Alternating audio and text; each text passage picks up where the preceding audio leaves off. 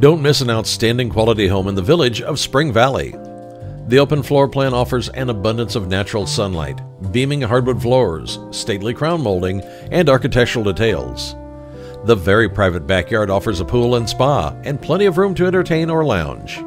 This is a beautifully maintained home with lovely upgrades and a master retreat with a spa like master bath on the first floor. This home won't last long. Schedule a tour with Henrik and Ghislaine Thomsen.